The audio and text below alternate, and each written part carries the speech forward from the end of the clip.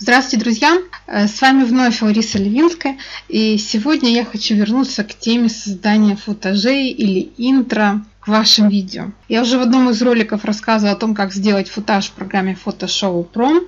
Э, время не стоит на месте, и сегодня я хочу вам показать, как сделать футаж, либо интро, как еще называют, в программе Adobe After Effects. Ну вот, э, покажу конкретно, как это выглядит этот футаж. Запускаю один из своих видеороликов.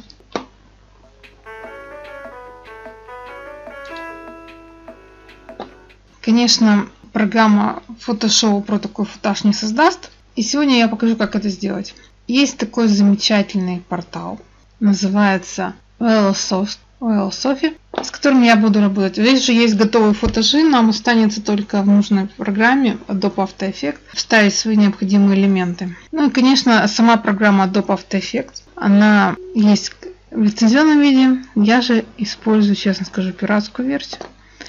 Нашла ее на одном из трекеров, сам, одном, из, одном из самых популярных трекеров. Все там есть и таблетки. И как устанавливать требования к системе описаны. Очень энергоемкая программа, скажу сразу, требует большого количества свободной оперативной памяти и довольно мощный процессор. Ну и 64 битной винды. Пока идет загрузка, открывается у меня эта программа, вернемся к нашему порталу. Я буду использовать этот портал. Выбираю во-первых, для того, чтобы скачивать э, футажи, необходимо зарегистрироваться. Процедура несложная, это вы сможете сами сделать. В верхнем меню я выбираю Effects. И вот они, футажи для Effects. Вот тут футаж, с которым я работала. Выбираю его. Нужно его проиграть, посмотреть еще раз, как он выглядит. Здесь на одну минуту идет. Я его секунд. Паузу. 11 секунд точнее. И теперь я выбираю Download. Ждем несколько секунд, пока подзагрузится файл. Файл загрузился, и опять же выбираем uh, After Effects Download. Файл будет скачиваться в виде архива zip с расширением zip. Выбираем Download, да, загружаем. Я выбираю диск D, на котором у меня все рабочие файлы. Сюда сохраняю, сохранить. Щелкаю по этому файлу. Ну, вот они у меня эти файлы. Логично распаковать этот файл, извлечь. Пусть это будет эта же папочка. Выбираю ОК. Теперь открываю программу Adobe After Effects. Выбираю в верхнем меню файл, открыть проект. Перехожу на диск D, в котором я сохранила. И вот этот мой. Выбираю файл, вот этот вот. Hipster Logo Template. Соглашаюсь. Я скажу, что не самая работа увлекательная, но Учитывая, что нам дается готовый исходный файл, в котором нужно только подставить свои значения, намного упрощается. Интро, редактировать текст, очередь рендеринга.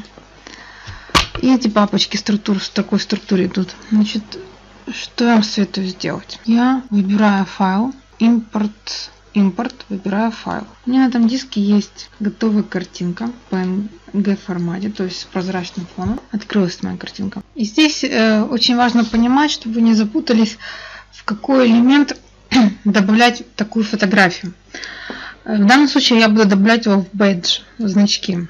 И значки у меня, во-первых, у них есть куча лишних элементов, которые нужно мне убрать. Вот эти вот крестики, точечки. Э, самая крайняя левая панелька значочек. Там, где глаз, я убираю одна кнопочка выбрала, другая, третья, четвертая. Теперь нужно убрать эти линии. Точно так же я исключаю. Все, я убрала линии. Теперь моя задача перетащить свое изображение на этот круг. Э, вверху есть, в верхнем меню есть кнопочка стрелка. Я хватаю за эту стрелкой и аккуратно прямо перетаскиваю на рабочую область. Конечно, изображение гигантское. Сейчас мы с ним поработаем. Здесь вот там, где слой с изображением, есть треугольник. Нажимаем еще на нижний треугольник «Преобразовать». И есть кнопочка «Масштаб». Масштаб, давайте попробуем вручную подобрать. Беру 80. Большой. Так, дальше. 50 пробуем. Тоже большой. Берем 30. Это то же самое топ. И аккуратно перемещаю. Ну, вот как-то так, да. Теперь, что очень важно. Если я помещу этот значок на самом верхнем слое своего изображения, то при просмотре он у меня будет с самого начала отображаться. Мне это не надо. Поэтому я его аккуратно хватаю за него левой кнопкой мышки и спускаю на самый-самый нижний слой. Самый нижний уровень под все надписи. С этим мы разобрались. Теперь я перехожу во вкладку Edit Text Here. Будем редактировать текст, который нам нужно изменить, подставить его под себя. Ну вот оно. Значит, есть несколько слоев с текстом буковка Т. Самый нижний слой. Давайте начнем с самого простого, самый нижний слой. Вот я на нем остановлюсь. Тоже треугольничек, текст. Начнем его менять. Используем в верхнем меню буковку Т, это инструмент текст. Удаляю старый текст. Ссылку на канал в данном случае я давать не буду. Я сделаю ссылку на свой блог. На английском языке пишу. И аккуратно подвигаю его примерно по центру. Это я сохранила. Советую вам выбирать периодическое время работы. Сохранить проект проект интро. Сохранить. Теперь будем менять основной текст. Я э, выбираю текстовый слой. Вот этот OK. Now the last one. Э, последний. Э, и я его выбираю также треугольничек. И выбираю преобразовать. У меня включена сейчас буковка Т. И я начинаю удаляю. И пишу свое.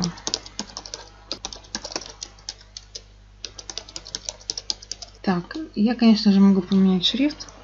Выбираю здесь в правом меню, ну, например, вот этот Камбрия. И выбираю ее, сделаю наклоном. Тоже здесь можно выбрать. Жирненький. Слишком большой размер пикселей. Выбираю 60. Но вот это уже больше похоже на то, что мне надо. Аккуратненько хватали кнопкой мышки и подвигаю в нужном мне расположении. Так, ну текстовую часть я выполнила.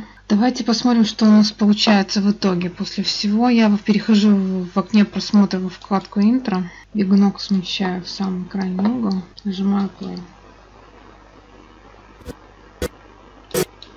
Получается, что у меня фотография будет висеть с самого начала. Мне, конечно, это не надо. Что я вам советую сделать? Перед тем, как использовать э, файл формата AVI, все-таки его переименовать. Потому что Camtasia может глючить, когда вы будете сохранять готовый проект. Пусть будет так называться. Intro. Открываем. Точно так же поступаем с музыкой. Хочу поменять музыковой ряд, звуковой ряд. Э, выбираю файл, импорт мультимедиа. Правой кнопкой мыши выбираю «Добавить на шкалу времени в точку указателя воспроизведения». Точно так же поступаю с музыкой. Правой кнопкой мыши «Добавить на шкалу времени в точку указателя воспроизведения». У меня ролик короткий, я хочу, чтобы музыка начиналась более динамично, поэтому я звуковую дорожку сразу подсокращаю. Примерно вот так. Перетаскиваю ее в начало.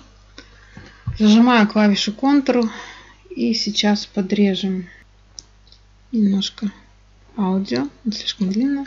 Опять же зажимаю Ctrl и колесико мыши растягиваю.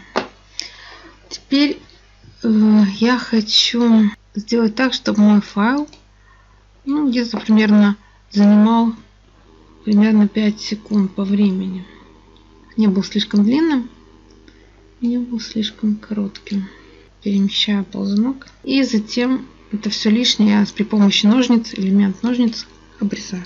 В принципе, можно было бы ставить все как есть, но я вам советую поступить все-таки следующим образом, немножко поработать со звуковой дорожкой. Выделяем э, на звуковой дорожке. Во-первых, это звуковая дорожка, которая снизу, это старый звук, который был в самом файле. Я его хочу убрать, поэтому выбираю приглушить. И затем выбираю небольшой кусочек в начале.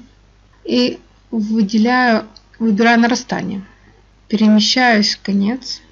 Выбираю затухание. Теперь все готово для того, чтобы сохранить файл. Выбираю в меню Produce and Share. Выбираю пользовательские настройки проекта. Выбираю Далее. Файл MP4 формат. Далее. Еще раз Далее. Третий раз Далее. загрузки и выбираю интро.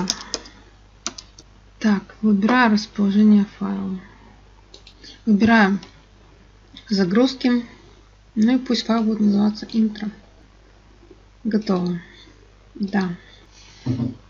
Начался процесс рендеринга, мы видим. Процесс обработки видео сохранения завершился. Я выбираю готово. И давайте сравним, что у нас получилось в итоге.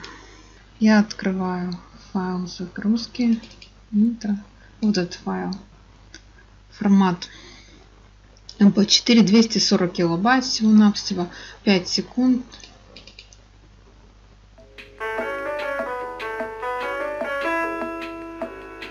Ну, такое меня вполне устраивает, как коротко и со вкусом. Надеюсь, что сегодняшнее видео было для вас полезным. Ставьте лайки, подписывайтесь на мой канал. С вами была Лариса Левинская. До скорой встречи!